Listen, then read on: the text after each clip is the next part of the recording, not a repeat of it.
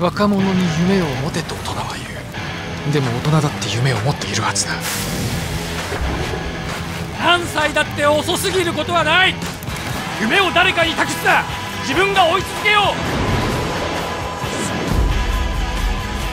夢を追う大人であふれたこの国の未来はきっと明るい。新本格和風味サムライマック。トリプルビーフも。